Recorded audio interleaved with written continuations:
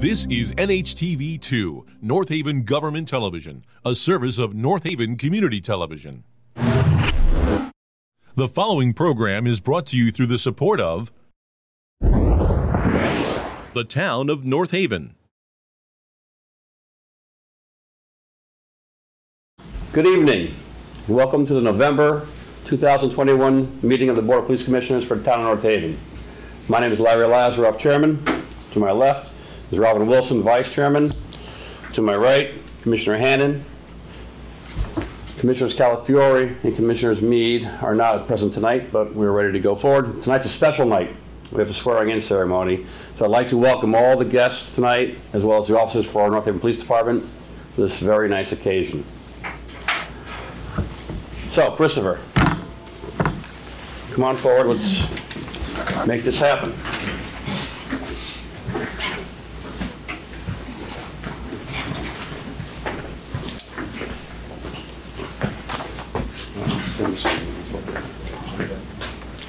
Okay, this is Christopher Butler, being sworn in. Repeat after me, please. Raise your right hand.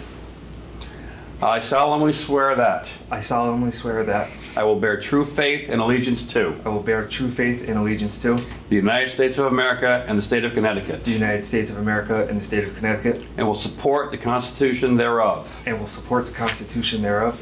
I will faithfully and impartially I will faithfully and impartially discharge and perform. Discharge and perform. All, all duties incumbent upon me. All duties incumbent upon me. As a police officer of the town of North Haven. as a police officer with the town of North Haven.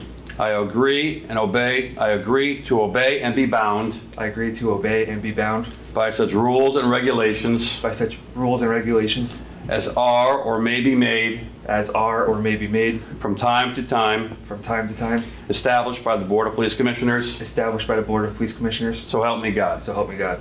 Congratulations. Thank you, sir. Good job. Good job.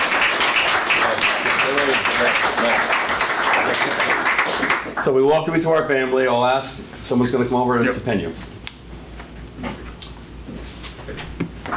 And this is, My brother Brandon. welcome Brandon. Important time for that to go up.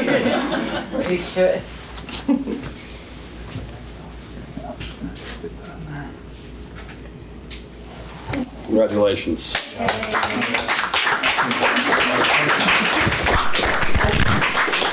That one doesn't work. So on behalf of the town of North Haven, I spoke with our, our first look at Michael Freda this morning, and he welcomes you to the position of patrolman. On behalf of our department here, you're part of this family. Uh, We will treat you as one of our brothers, as you are, and we look forward to having our department. We hope you stay safe and enjoy your career here in North Haven. Thank you very much. Congratulations. Thank you.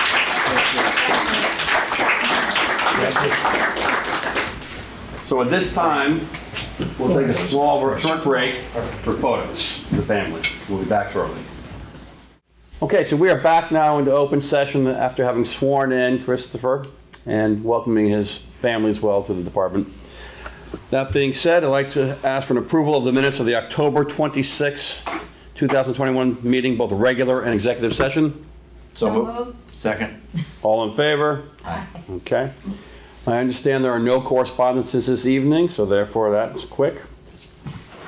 For the chairman's report, I'd like to start by asking the residents um, to please, when they walk or run in the morning, you know, I, I drive to work very early morning and I see a lot of North Haven residents walking and uh, jogging on the streets uh, in dark clothing without any kind of reflectors or anything. It's, it's so, so dangerous. You know, you, your, your lights are on, it's, it's very dark, and you're in dark clothing. So please try to be aware of your surroundings and please try to wear some kind of reflective or at least light colored shirt, sneakers. I see the sneakers with the lights and the, all different things that are available. So just uh, we'd rather avoid a situation than have to deal with one, an accident happening. Again, another reminder to please lock your cars, your homes, your sheds. We are the first defense ourselves. We, protect, we have to take responsibility and uh, protect our own property. Um, so Chief will talk about the No Shave November, and you'll see the, how nice he looks with his beard. Uh, reminder now we're going into holiday season as well, that stores are open later. Uh, just be careful and be vigilant where you park and just make sure you know where your surroundings are because obviously there's usually an uptick in crime during these holiday seasons. Um, just a notation that uh, in the center of town on the Saturday, November 27th from 1 to 3 in the North Haven Shopping Center, now called Washington Commons, we have an annual Santa Claus and Hayride event from 1 to 3 on the 27th. Please bring your kids. It's all free. It's a fun event. And with that being said, I'd like to wish everybody a happy and healthy Thanksgiving, but we'll do that at the end of the meeting as well. So, I've got nothing further. I'll pass it on now to the chief. Thank you. Once again, congratulations to our newest police officer, Christopher Butler, who was sworn in this evening. Christopher had three years' experience with the Hartford Police Department, and he begins here in North Haven tomorrow morning.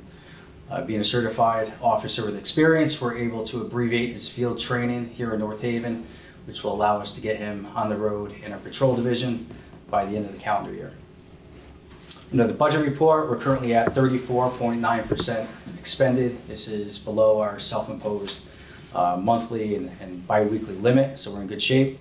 As I mentioned last month, we expect an uptick in the next month and a half going into the holiday season with a lot of vacations and backfilling patrol, as well as an increase in training now that things are opening up. We're getting officers back in the classroom um, and going to, to more training classes. We're going to be conducting our firearms training and new use of force training uh, the next month, month and a half. Uh, new use of force statewide policy goes into effect January 1st, so that's a very important uh, change that was a result of the police accountability bill that was passed. We received our budget making schedule, and my request will be at the Board of Finance, uh, correction, the Finance Department for December 6th. Will then be passed on to the First Selectman's office, and as you know, the Board of Finance Budget Workshop, which you're all invited to, uh, is scheduled for February 16th. We're currently using grant funding for crime suppression patrols. This allows us to get extra patrols in the neighborhoods, specifically to target the uptick in stolen vehicles and larcenies from vehicles. So we've been able to staff those shifts at no cost to taxpayers, uh, which we're very happy about. We're also using grant funding to staff distracted driving overtime. So we have officers out on the road looking for people using cell phones while driving and otherwise uh, driving while distracted and conducting enforcement efforts with that. Again, uh, no cost to the town. Under the traffic report, we have no new requests for the commission this month, uh, but just an update on uh, things that have been passed in the past few months. Old Broadway, the no parking signs have been installed. The painting has been conducted on Old Broadway East. Uh, the no parking signs near Clintonville Road School have been ordered, as well as the signs for Beach Lane and North Hill. Those have been ordered also, and I'll update you hopefully by next month. Those will be installed. Last night there was a just, uh, juvenile justice forum across the street at the Park and Rec uh, Department. Uh, we sent Lieutenant Matthew Falcon to represent us at that forum. Uh, from all accounts, he did a nice job. Lieutenant Falcon has um, extensive experience when it comes to juvenile justice. Uh, he was a school resource officer for a few years. He worked with our um, our help me out here. Yeah. He did DARE, also the um, juvenile review board across the street where we try to divert juveniles for who are arrested for minor crimes. We send them to the juvenile review board opposed to the juvenile justice system. So he's worked with them for years. He's helped us with juvenile policy as well as training in that topic. So he represented us. Um, they asked for a panelist to speak for just a few minutes last night, and uh, I believe it went well. In regards to new personnel, uh, we obviously swore in our newest officer this evening. So we are fully staffed at this time. In January, we have three funded positions. We have one conditional offer of employment for January, and that is a certified police officer from a municipality uh, close by. And we hope to have him on board soon. Um, by all accounts, his background investigation has been great. It's just a formality as far as when we could swear him in. We're conducting interviews later this week for recruit level officer, hopefully uh, to bring before the, the Board of Police Commissioners for further interviews, and that's for the January uh, Police Academy class. we may be asking for a special meeting in the next couple weeks to facilitate that and give us enough time to onboard that person for January. And we'll be opening up applications for certified police officers in the next few weeks. Uh, There'll be a written test uh, for that position and then internal interviews. Uh, Applicants can go to Police App to register for that written test and then apply to North Haven. And the deputy chief is gonna uh, give an update on our CALEA status, which is coming uh, to a head this weekend, or later this week. Uh, As we talked before, at the end of the uh, four-year CALEA cycle, you have to go for reaccreditation. Um, Normally, that's an in-person conference visit with the chief and the accreditation manager. Due to the ongoing COVID concerns, it's now a remote assessment, and it's going to be held, um, our portion is going to be this Friday. Um, The chief, myself, uh, Lieutenant Thorpe, the accreditation manager, and hopefully uh, Captain Stravides. Uh, We all participated at one point or another in the uh, CALEA process as far as being an accreditation manager.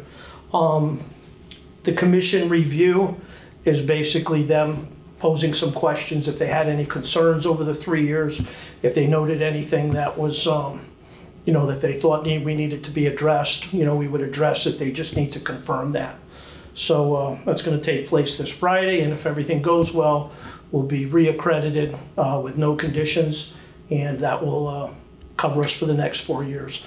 Then the cycle begins again with the, you know, proofs and standards and yearly uh, commission reviews and stuff like that, so. After the review on Friday, how long until you find out uh, the situation as far as Not sure. critiques or? I'm not sure if it's a matter of uh, weeks or, or days, you know, I'm not hundred percent sure, but we'll be notified, and then obviously the chief will pass along to you. So hopefully by the December commission meeting, Perfect. we'll know where we stand. Excellent, excellent. Any questions? I have none.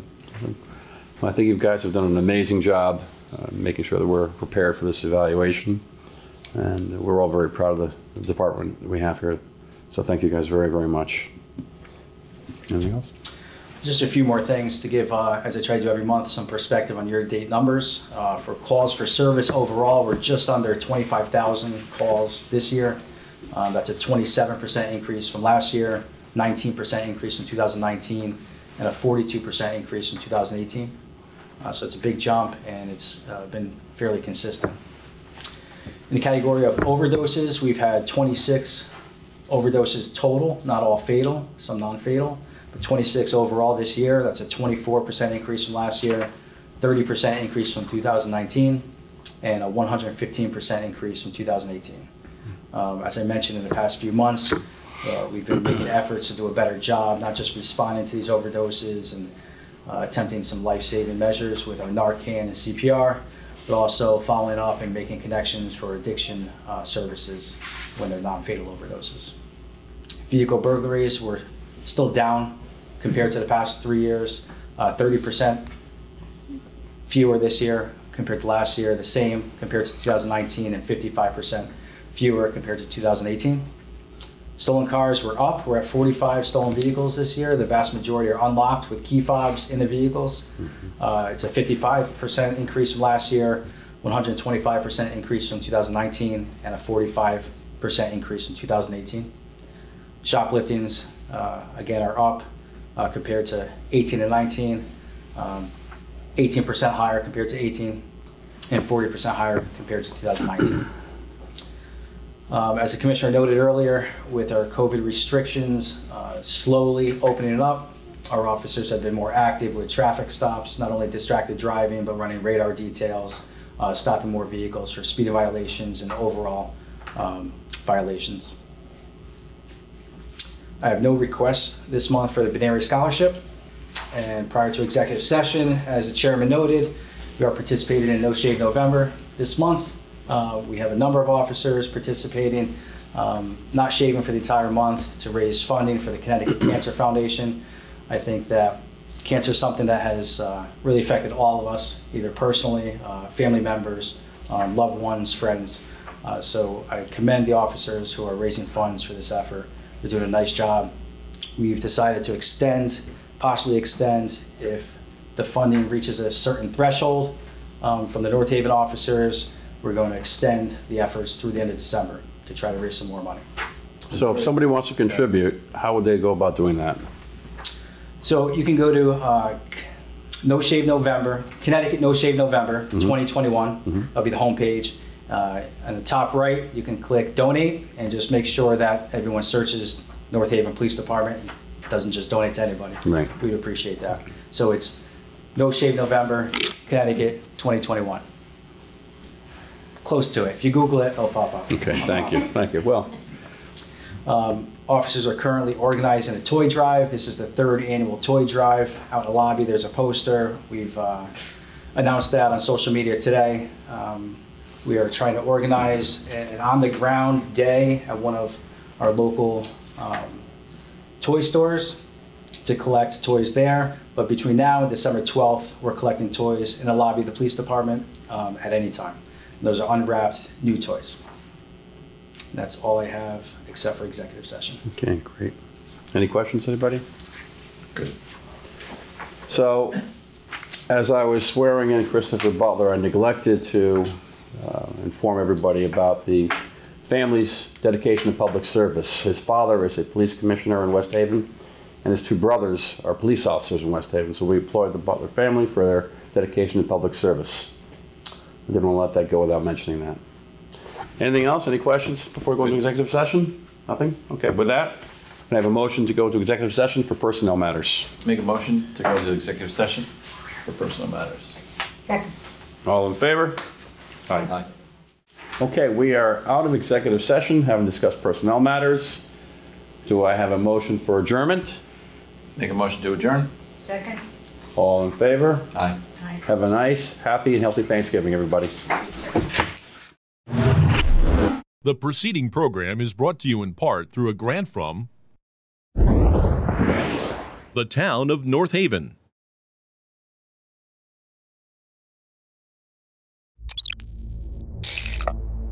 Watch town meetings or other videos on demand at nhtv.com.